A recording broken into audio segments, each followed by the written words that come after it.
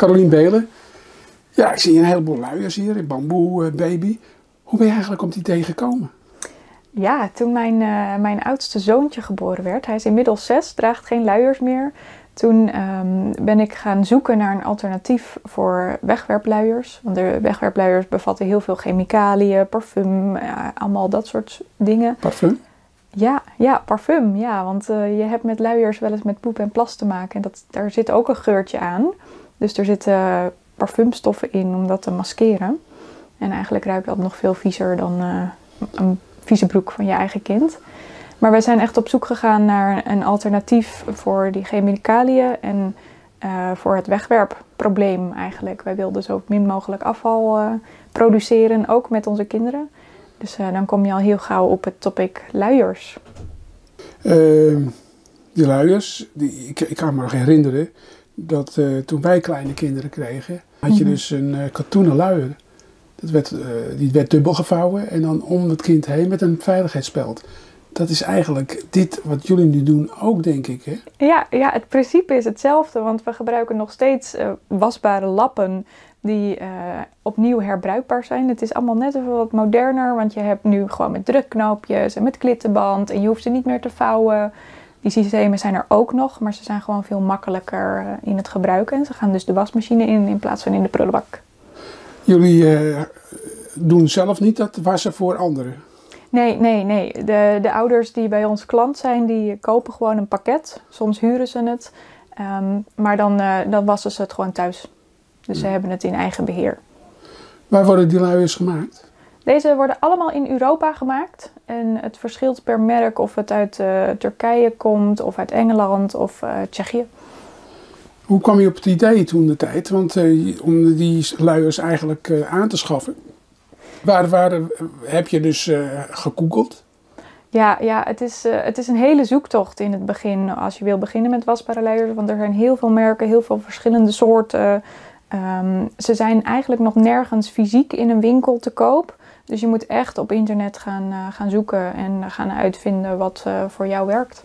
Was er al iemand bij begonnen in Nederland?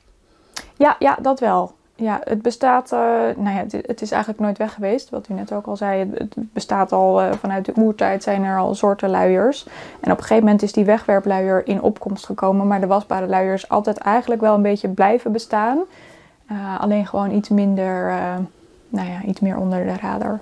De wegwerpluierfabrikanten zijn niet blij met je, denk ik. Nou ja, ik denk dat dat nog wel meevalt hoor. Er zit op dit moment van de kinderen in, in Nederland is 5% wat slechts wasbare luiers draagt. Dus er is nog heel veel werk te doen, ook voor die wegwerpfabrikanten. Dus. Doe je dit alleen? Uh, Bamboo Baby doe ik alleen. Maar uh, als ik beurzen heb of social media, dan heb ik allemaal dames om mij heen. Dames zijn met luiers bezig, die mij daarin helpen. Ja. Zijn er meer mensen waar je dus die luiers nu kunt kopen in ja. Nederland? Ja. En die onder jouw leiding vallen? Nee, nee, dat niet. Er zijn uh, meerdere uh, shops zoals uh, Bamboo Baby, gewoon verspreid over Nederland. En het zit eigenlijk heel goed verdeeld. En in de markt zie je ook van mensen worden zich wat bewuster van, van wasbaar en van het duurzame aspect. Dus het, er, er gebeurt iets. Er komen steeds meer aanbieders van wasbare luiers grote fabrikanten zie je dat die een beetje de shifts aan het maken zijn. Dus de bewustwording die vergroot. Word je benaderd door fabrikanten? Nee, dat nog niet. Nee, nee. Ik, ik, ze zijn, het kan niet anders dan dat ze er ook mee bezig zijn om te kijken of het iets voor ze is. Maar ja, ik, ja nee, nog niet. Of ben jij de enige in West-Friesland? Ik, in West-Friesland ben ik de enige, behalve dat er uh, mensen om mij heen ook helpen met als ouders uitleg nodig hebben, dat ze ook bij iemand anders terecht kunnen dan alleen bij mij. Oh, dus ouders moeten wel uitleg hebben hoe het werkt?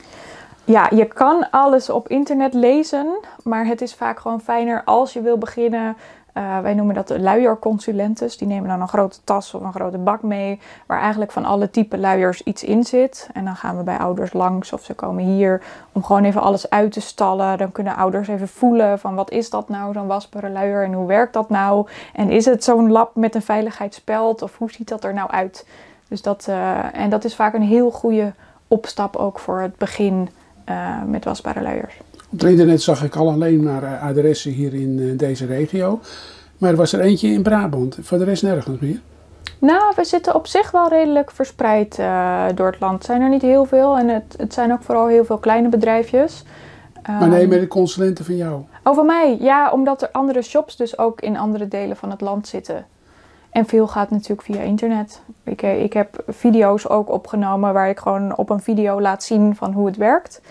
Uh, dus dat, dat gebeurt ook. De, de, het land is groot, maar je kan eigenlijk alles vanuit je eigen woonkamer uitzoeken. Je was eens finalist bij het Noord-Hollands Noord Business Award. Ja. Uh, heb je die ook gewonnen? nee, helaas. Ik was derde in de categorie MKB Klein. Um, wat alsnog een, een waanzinnig resultaat is. Dus uh, ja, trots op. Zelfs de gemeente Medeblik heeft uh, jou uh, weten te vinden. Ja, ja, in 2018 ben ik uitgeroepen tot duurzaam ondernemer van gemeente Medeblik.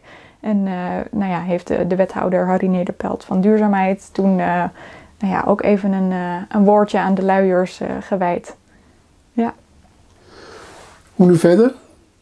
Hoe nu verder? Ja, mijn missie is nog steeds de wasbare luier hoort de norm te zijn. Want waarom zou je een product weggooien als je hem heel goed kan hergebruiken? Maar het is gewoon nog heel veel uh, kennis delen, bewustwording onder jonge ouders. Eh, er zitten nog heel veel taboes omheen, want ja, je hebt met poep en plas te maken, dus dat is vies. Um, maar wat mij betreft uh, is over een paar jaar zitten alle baby's in wasbare luiers. En dat, dat denk je ook, dat is de toekomst? Ja, het lijkt mij dat het niet houdbaar is dat er zoveel luiers weggegooid blijven worden. Dus daar op een gegeven moment moet daar, daar moet iets mee. Ik had iets begrepen dat uh, weggegooide luiers moeten eigenlijk uh, uh, anders verzameld worden. Het mag ook niet meer in de grijze bak. Ja en nee. Op sommige plekken zamelen ze luiers los in. Is vaak in grote steden. In Amsterdam gebeurt het wel eens omdat ze daar uh, testen mee aan het doen zijn of luiers te recyclen zijn en wat ze er dan van kunnen maken. Maar dat staat echt nog in de kinderschoenen. Dus het meeste van de luiers is restafval en verdwijnt in de verbrandingsoven. En de HVC die doet daar nog niet aan mee? Nee, nee, helaas. En uh, heb je wel contacten met de HVC erover? Ik heb ze nog niet gesproken. Nee. Er wordt altijd in de reclames gemaakt hè, voor die eh, weggooien luiers met een plasgootje en mijn zus. Hebben jullie dat ook in die luiers?